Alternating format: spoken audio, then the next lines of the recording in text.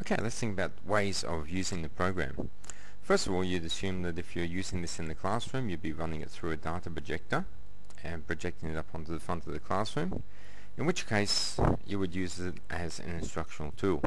For example, if I was doing a circumference exercise, I might draw a circle, and while I was standing in front of the class and explaining these principles, I'd be drawing things on the canvas and using that as my explanation. Okay, there's another way to use the software, and that is to set an exercise up before class. For example, I might set this exercise up before class. I might ask the students to measure to measure this uh, radius here and the circumference. Now I can save this file. I'll click on Save As there and I might save it onto the desktop. Okay. And I'll call it exercise 1.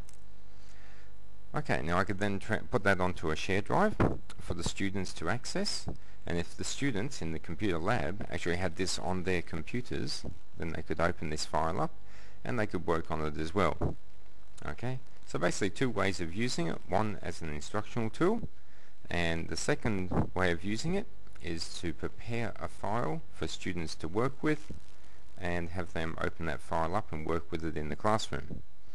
Uh, if you're looking for some examples of files that have already been prepared, please have a look at the wiki site. There's plenty of examples there.